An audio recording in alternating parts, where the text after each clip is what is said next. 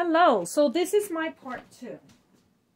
I'm going to experiment in um, fermenting uh, this beautiful oyster mushroom. I dipped it in baking soda water because some people boil it, but they know it loses its nutrients, half its nutrients by doing so. And I certainly don't want to do that. I want to reap the benefits of the entire um, oyster mushroom, okay? And so I decided instead to get creative and throw some baking soda water over it. And I'm going to do a fermentation part apple cider and part salt water. Why? Because I don't have enough room in my fridge. Uh, and with apple cider, I don't have to rush. It could stay there for two years.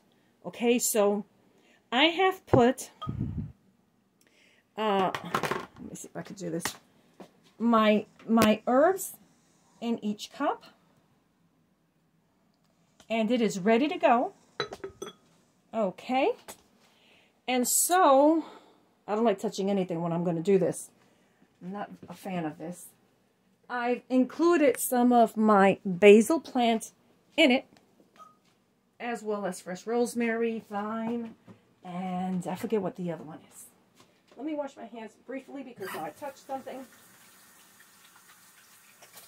Um, I also want you to know that before I put the herbs in there, I use purified boiling hot water to rinse each jar. That is very important.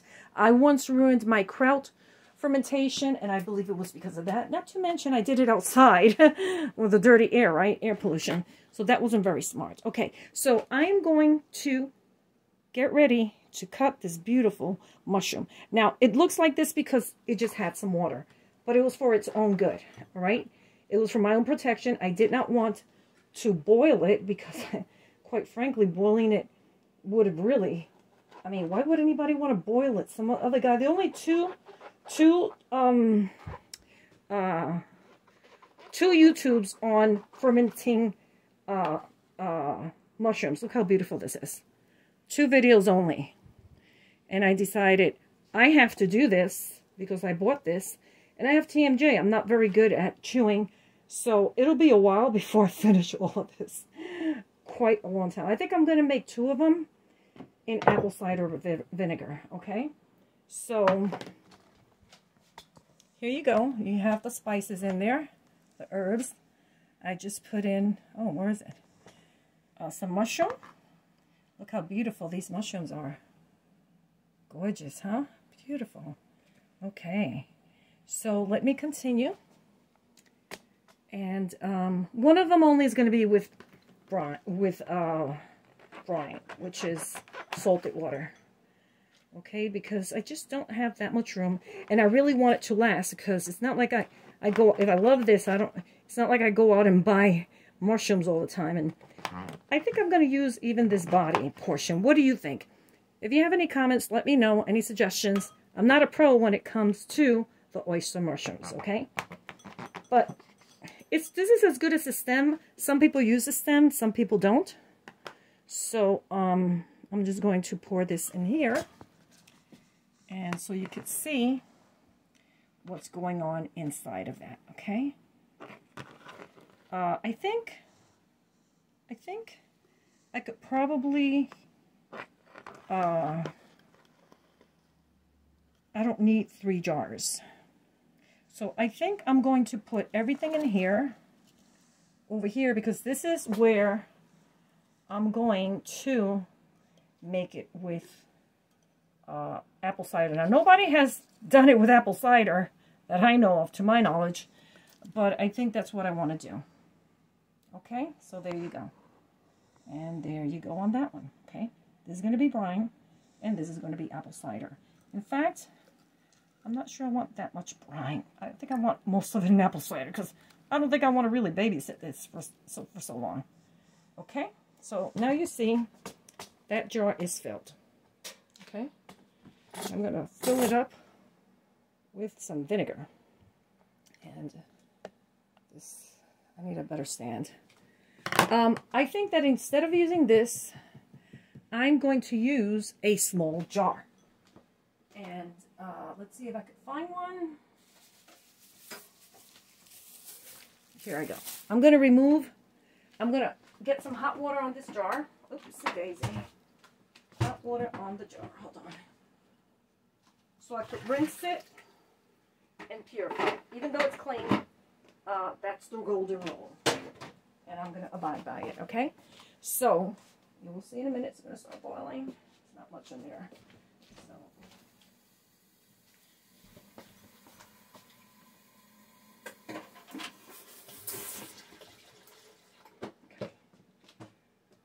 I almost burnt my own hot water boiler. I don't want to do that. Put enough water there. It'll boil any minute. Um, in the meantime, back at the farm, I'm going to start pouring. I'm going to shake this apple cider. I found it for $11, this whole gallon. It is competing with the major brand. I'm not going to say who. Uh, but there's competition now. $11 for this brat-like bottle. That's all I'm going to say. Okay. They have it in a, a smaller size as well. But let me stir it, get the mother around. And I don't know if I'm going to mess this up. But if you could do do it in brine, you could do it in honey. Why can't mushrooms be done in vinegar? Here we go. You set it and forget it for two years on this. And this smells like apples. I could really smell it. To me, it smells better than competitor. If you know what I mean. Boom. So this one I could set it and forget it. Put it in a dark room.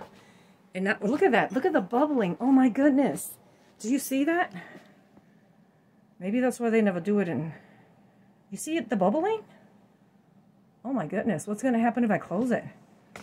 Maybe this is a mistake, huh? Because it's got all that good bacteria boy, bubbling in there. I don't think that's going to happen with the water. We shall see. Okay. That's kind of... Look at that. It's like boiling like... If I close this up, it's going to pop. If I close that up, it is going to pop. It looks like soda. Look. Do you see it? Kind of blocking the light from it. But look at it from the side. It looks like soda. Wow. Looks like a soft drink. You see this? The bubbles coming up from everywhere. Oh my goodness. Well, I don't want something popping in the middle of the night, but this is certainly very interesting. Never done this. I'm not sure if anybody has. But let me just uh, get a closer look here at what's happening.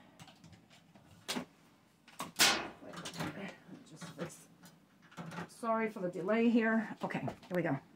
Look at it. It's like soda. Carbonation. Does that make sense to anybody?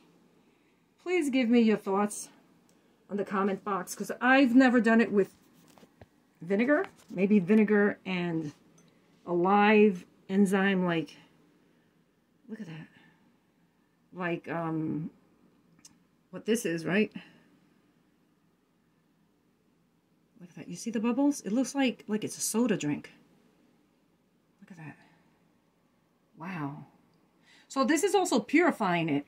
Now I did put baking soda in it, so it's possible that the baking soda, just like when you mix baking soda with lemon, it causes bubbles also.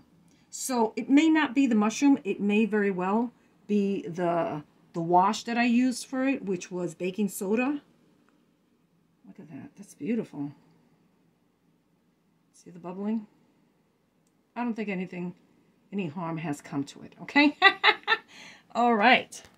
So, let me get back. Back to business, right? Back to normal. That was quite interesting, if I may say so myself.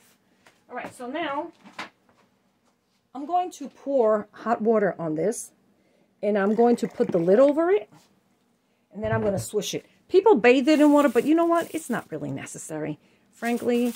I mean, I'm using this paper and this is hot, so I'm, I'm just going to, I'm just going to swish it around. I'm going to use this. This looks like it's the same right size. And that's it. I swished it. And I baked the whole area. All right? You don't have to give it such a hot bathe and bath and, you know, just so it could look good on camera. You don't have to do that. It's hot. Actually, I could I could keep this closed for a little bit just to keep the heat in, right? Just keep it closed while I'm doing other things, right? So, back at the farm, I'm going to take this here and put it in a smaller jar. I don't need that much space for it. It looks pretty in this one, but it doesn't have to be going there. Okay, so now this, this I can feel the, the heat, right?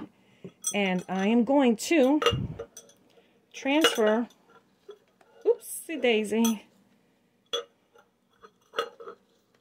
daisy. I don't like that I dropped this outside. So I'm going to pour a little bit of purified water over it.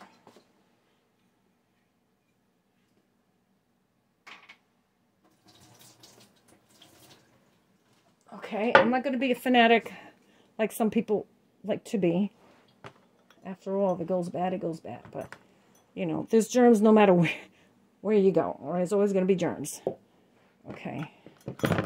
So here we go. Now, one thing I forgot to do is put garlic for crying out loud. That's my main, that's my main ingredient. So back at the farm, okay, I'm going to remove this here. I'm back at the farm.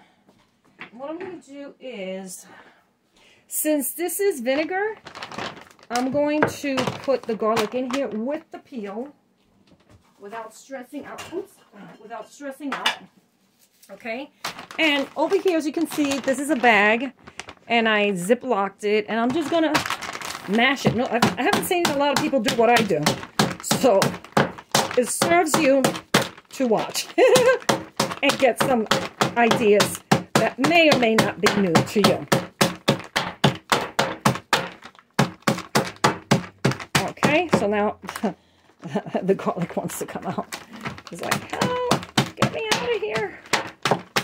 And I don't think it's a big deal for the garlic to be open, although it should be open more in water brine than in, um, uh,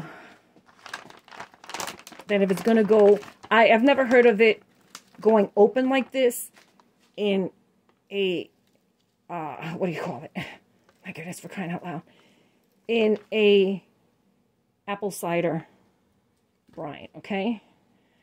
But I'm going to do it anyway. And I'll let you know how it came out, right?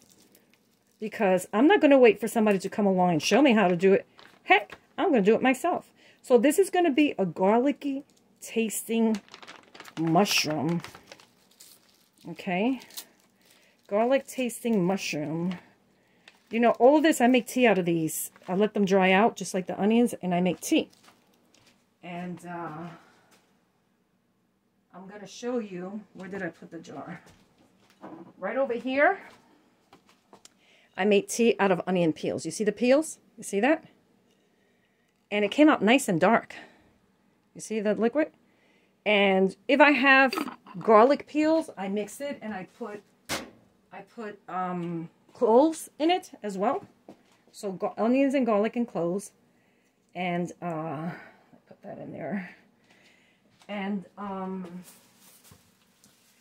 whatever I can. And it's supposed to be very, I'm sure it's very nutritious. I'm, I'm sure I'm doing something really good to my body when I do that. Okay. So, wow, it's a lot of garlic in here, huh? It's a lot of garlic in here. So, see the peel? I'm going to keep this peel. A lot of this peel. Because I'll let it dry out and I'm going to put it in my tea. In my onion tea. I'll show you how that looks in a little bit. So you could get an idea how you don't need to spend a lot of money in this jar, this, the other jar. Uh, you don't need to do that. I have a lot of garlic in here. So there's going to be more of a garlic fermentation, I guess, huh? Oh, is a this peel. Gets sticky. Okay, so as you know, garlic is sticky. Very, very sticky. So I'm going to put it here just like that. You saw the paper? Okay. Let's see how much of this I could fit in here. Because, see? See all that I have in here? It's a lot. it is a lot. So it's good to have it open because it loosens the nutrients throughout, okay? And uh, with or without the peel, it is appealing. so watch, I'm putting some garlic in here. And this is with oh, this, this piece of peel here. Okay, so I'm going to show you how I save my peels. Okay, stay tuned till the end. Don't forget to hit the like button, hit the subscribe button, so you won't miss a thing. How does that sound? Okay, so this one, I'm going to take some of the peel out and let it go in there. Okay. Not, that drink is, is not bad at all. It doesn't taste really bad. Um, I guess some people are very picky. I'm not.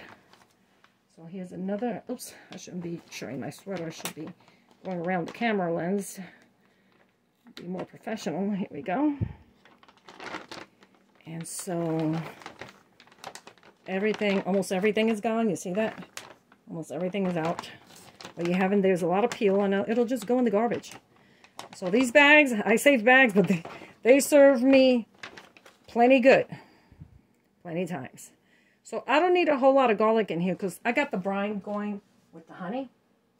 Uh, so I got plenty of garlic that's being fermented. I think I want to save this too. What the heck? It'll dry out. Okay. So the important thing is that I need to wash my hands. I need to wash my hands. Okay, so back at the farm, I'm going to put salt. Where did I put the salt at? Am I dizzy or what? Where did I put the salt? Redmond salt. Doesn't have to be Redmond salt. I do have sea salt in here. I'm not going to advertise for them. I think it's an overkill, this, this Redmond salt. You know, I'm not a Redmond salt fanatic. So, I'm going to pour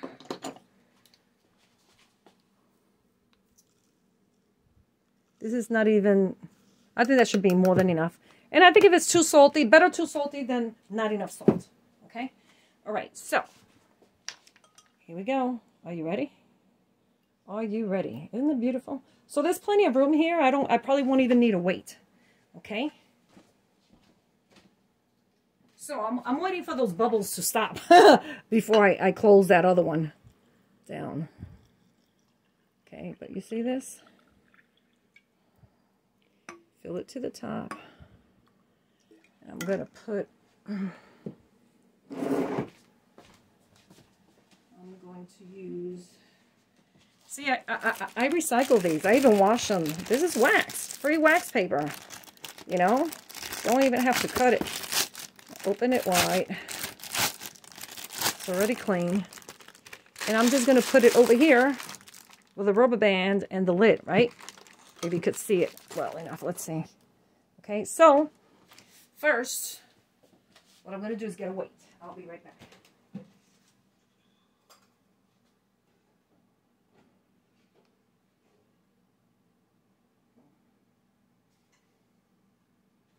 Can't believe I've run out of weights. That is crazy.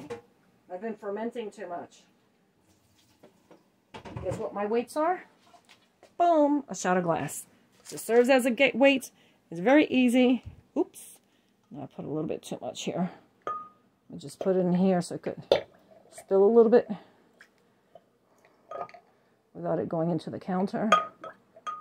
Okay. see that? Got to be creative, right? Got to be creative. Look at this. I think it looks lovely. If you ask me, it, they all look lovely. Look at that. Nature. Nature. Okay, and, and it doesn't, doesn't have to be a mason jar. It does not have to be a mason jar. So you put this because this has aluminum. And sometimes they're old and a little rusty. Set it and forget it. All right. I don't even have to worry about shaking this one because it's filled to the top. It's not too full. And look, it almost looks like it's a, a deer's heart or something in there, right? it looks like a piece of meat. So I'm not good at chewing these days because I was, um, I was, um, what do you call it? Uh, rear-ended uh, almost two years ago. Actually, on the 15th of December 2021, I was rear-ended Oh boy, I'm going to need another weight for this. And I think I've run out of weights. So I'm going to freeze this for a minute while I look for something.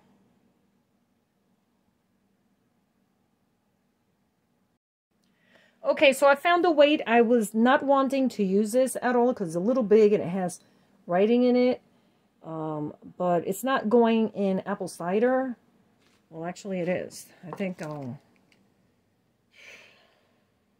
I mean, this is engraving. I hope this stuff doesn't wear out. I don't want it in my food. Just don't have another weight. Can I think of a solution right now, please? Like, hello, I need a solution right now. Um, I can't believe I, I ran out of shot glasses. Oh my goodness.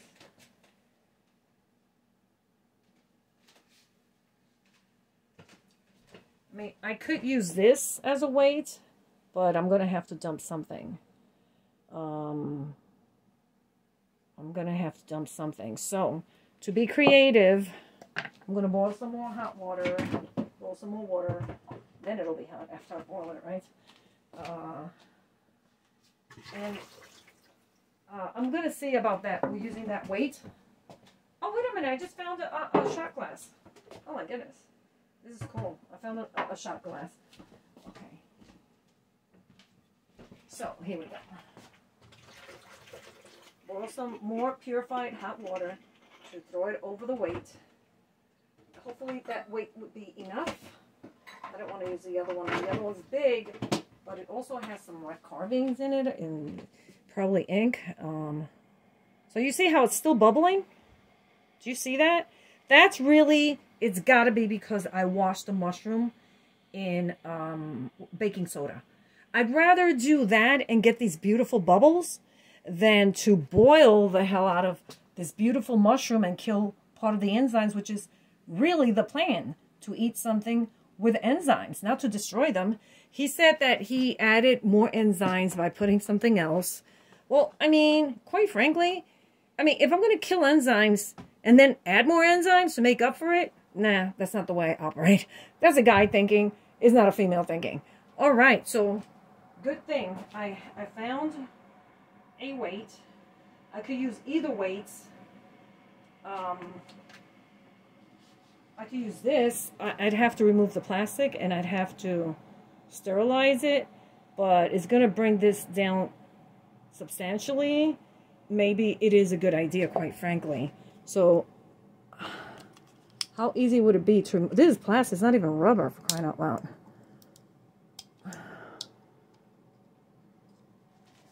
I could remove the plastic, but I'm pretty sure I'm not going to be able to put it back in there. That's uh, sure. But I'm going to take a chance, and I'm going to sterilize both pieces.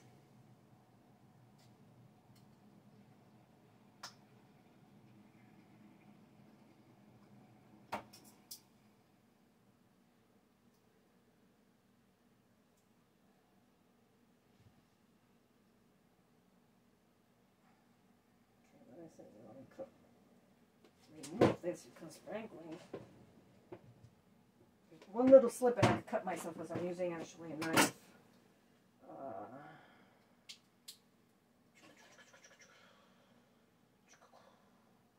I think I'm cool, don't I? I'm still trying, trying to remove this.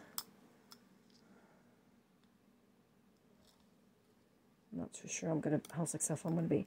And if I put this as a weight, the plastic has to go. It has to go. Look at that. Looks like I'm not sure. This plastic, the plastic is so perfectly. Oh, wait a minute. So perfectly fit. But I don't want to break the glass either because I don't want broken glass in my fermentation, right? Doesn't make any sense.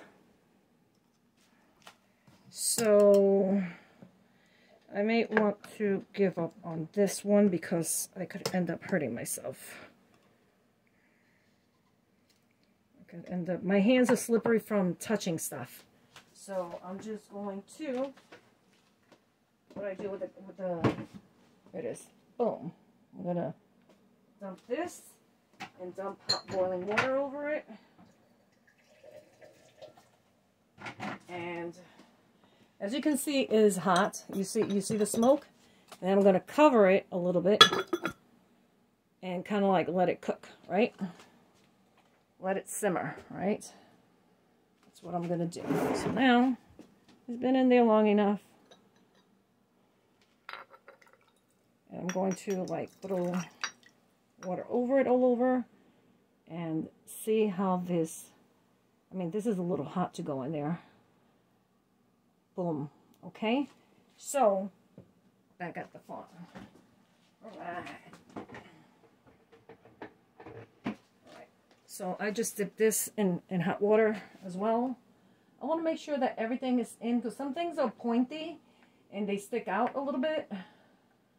And that's not what I want. See, like this, this over here. You see it sticking out?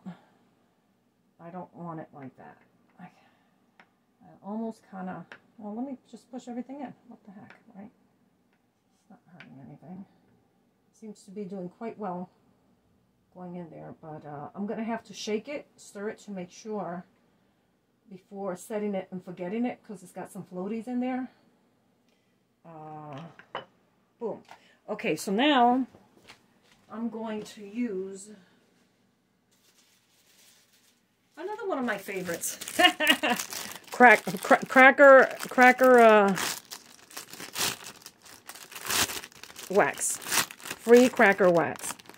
Okay? So, I'm going to put this over here like that. Can you see it? There you go. And I'm going to put this plastic lid right over it. And I'll check it out for a couple of days before putting it away for a couple of years. Seriously, a couple of years. Okay? It doesn't have that much. Okay, so this does... Okay, now it's tight. Beautiful. Isn't that beautiful? Isn't that gorgeous? Beautiful. Look at that. It even smells like wine in here. You know, with that bubbling. Um, it really set the stage for me, if you ask me. Um, so I'm quite content with what I've done here. Please don't forget to hit the like button. Uh, hit the notifications bell. Subscribe. And send me a comment about my experiment here. If anybody has done this, what you think about it. I think, frankly, just because others haven't done it, doesn't mean I can't do it. Holidays are on its way. Who knows? I may be dibbing, dibbing and dabbling at least a little piece by Christmas. Ho, ho, ho. Happy Thanksgiving and then Merry Christmas. I'm not a big fan of holidays. Um, I'm a fan of Jesus Christ. I don't think he was necessarily born in December 15th. Actually, there's a God that's worshipped by the pagans born on that day. A lot of things have been twisted, but that's only my opinion. I'm not a prophet. I'm not a preacher. I'm not a doctor. I'm not a holistic remedy professional. But I am a human being. And God gives us senses to do the right thing. Thank you for joining me in preparing foods that are indeed the right thing for my health. Thank you and have a great day. Bye now.